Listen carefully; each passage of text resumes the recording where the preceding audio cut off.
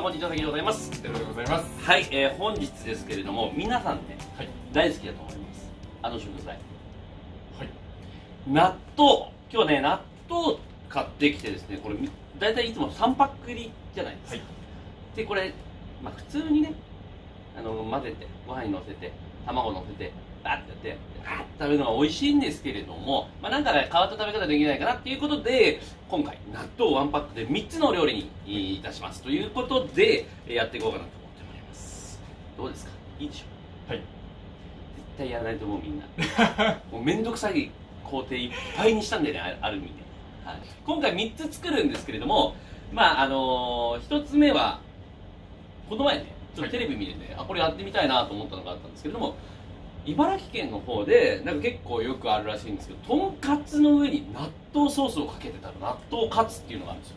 でこれをちょっと実際にやってみようかなと思っていて、えー自分が多分食べてみたいっていうのが一番強いんですけど。はい。であともう一つは納豆を使った揚げパンを作ろうかなこれね実際にあのうちのカメラマンさんがパンに納豆を乗せてマヨネーズかけて食べるのが好きだっていうところから僕ちょっと発想をいただいてで何かちょっと一工夫して、まあ、まあ皆さんどうせやらないと思うんですけども面倒くさいことするんでね。はい。でそれで納豆揚げパン。これちょっと2つ目作ってみようと思います。で3つ目。やっぱね我々和食なんでね、はい。まあ、シンプルに、あのー納豆のおそうめんを作ろうかなはい。いや結局納豆を納豆そうめんの場合は納豆をソースというか食わせにする、まあ、和食でいう食わせにするんですけどでそれでガッと混ぜてズルズッて絶対に美味しいはい。はい、というわけで、まあ、今回はねちょっと変わった食べ方ということで3つ、えーご紹介させていただこうかなと思っております。本日も最後にご視聴のほどよろしくお願いします。納豆で3つ。カプロさん。絶対他の人は作らない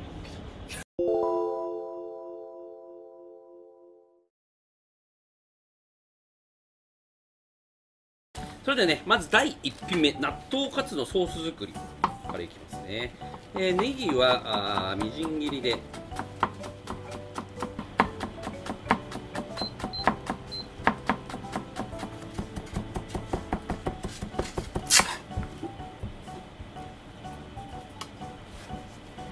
で、えー万能ネギ。これね一つの料理に2種類のネギを入れるっていう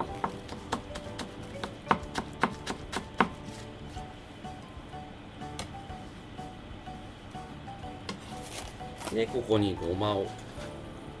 これ白ごまと黒ごまを混ぜたブレンドしたやつ。ですであとは納豆。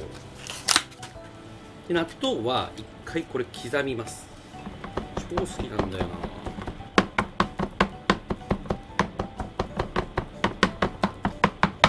まあ、刻んでソースっぽくね。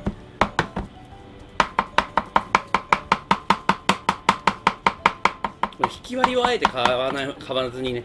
こうその場で包丁でこう叩くっていうのがいいですよね。でこれをこのまま混ぜるで備え付きのからしこれはもうとんかつにはめっちゃ合う。入れちゃいますで納豆のタレも入れちゃいます。でこれをもう混ぜ。る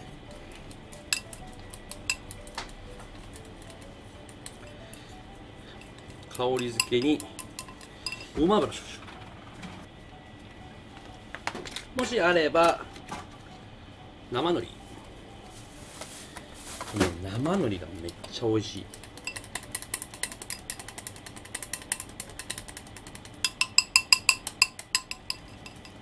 よく混ぜてあげて。ちょちょちょちょっと。どうですかこんなんで。はい一品目完成納豆カツ赤流な感じなんで。じゃあちょっと次行きましょう。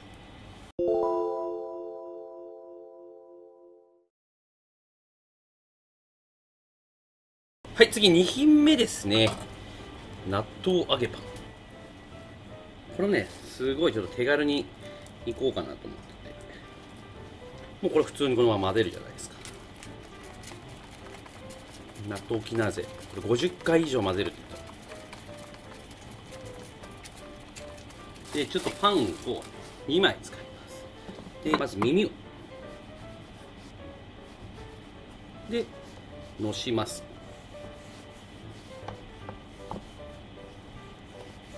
もう皆さん分かってきちゃってるかなって感じだと思うんですが。でこれと同じ同様なものをもう一発用意してください。用意できたらここにしそを引きます。でもう何もしてない納豆ちょっとたっぷりめに入れちゃいたいな。納豆と海苔の相性って最高なんですよ。なんでこれここに。でパンを上から蓋するんですがその際に卵液を海苔代わりですね。みんなやらないでしょこんなめんどくさいことは。で卵液塗りました。そしたらこれで挟みます。で真ん中をなんかこう潰さないような形ではいじゃありんたろくんこれこのままもう揚げちゃってください、はい、納豆揚げパン。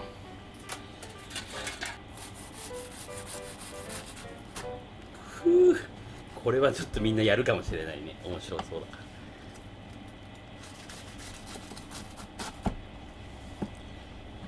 ら。で見ます？なんか。うわ対美味しいやつはいこんな感じで。マヨネーズをかけるとめっちゃ美味しいらしくマヨネーズをちょっとあんまかけたくないんですけど。で香りで黒胡椒2品目完成と。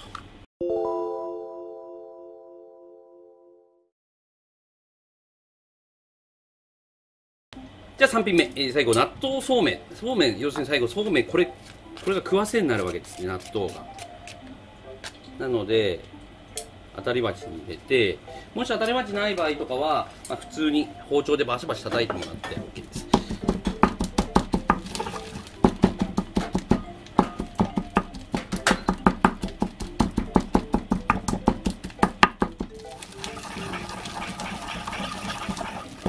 すごいでしょ。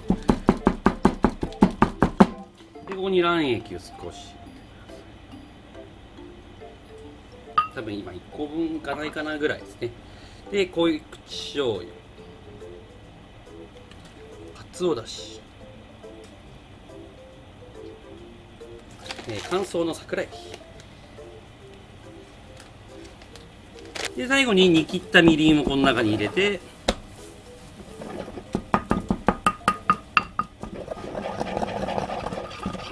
対美味しいこれ。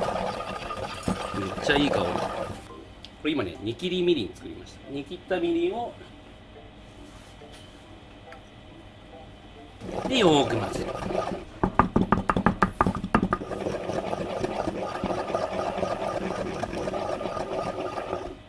湯がいたそうめんに納豆納豆醤油納豆ソースというかたっぷり。飲む納豆ですね。ちょっとおろししょうか少しだけ色合いで浅つき。おいとりあえずこれで2品目完成。はいというような感じで納豆3品作ってみました。どうでしょう。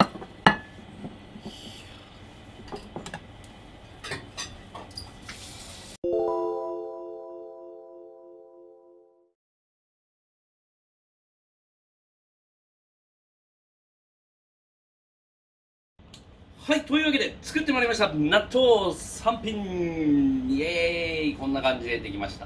まあもともと言っていた納豆の揚げパン。納豆揚げパンと納豆食べる納豆そうめんみたいな感じですね。であとは納豆カツというような感じで3つ作ってみました。ぜひちょっと今一回試食してみましょうはい食べたことないこんな。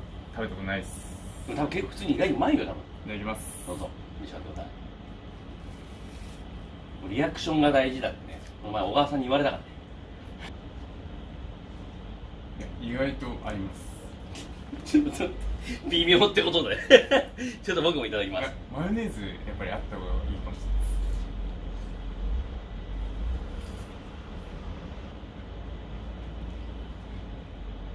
うまいね。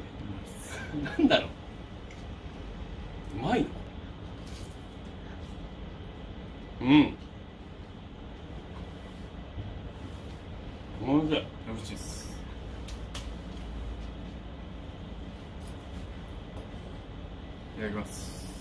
く混ぜて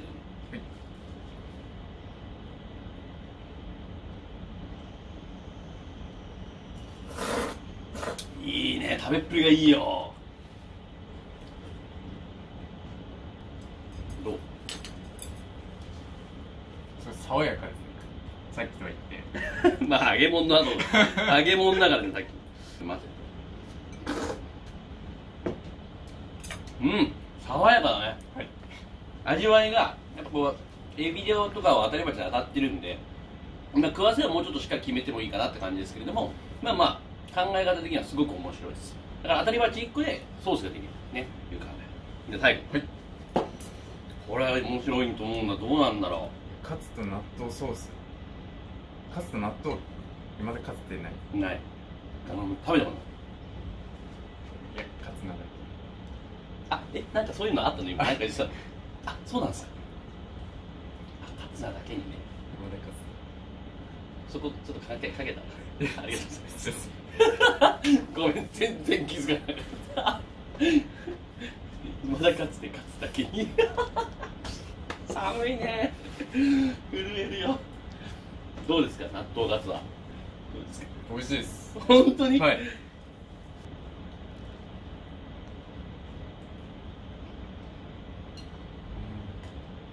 うーん。これリアルうまい。ねはいいやこれはでもマジでうまいわ。はい。うん。本当美味しい。これはやるべきだ。ねはい。海苔がね合うね。納豆と海苔すごい相性いいし。というような感じの納豆サンド、い。でもみんな絶対作らないと思う。あえて何回も絶対に作らないと思うんだよ。だってできないと思うこんな面倒くさいこと。ぜひ僕のインスタグラムにアップしてください。というわけで本日もご視聴最後までありがとうございました。今日これからおじめさんとあの一緒に今日飯行こうよと。ちょっと僕の方からいろいろとお話しさせていただきたいなと。まあどんな話をするか内緒ですから。美味しい焼き鳥屋でねもう予約してあるんでちょっと行ってきます。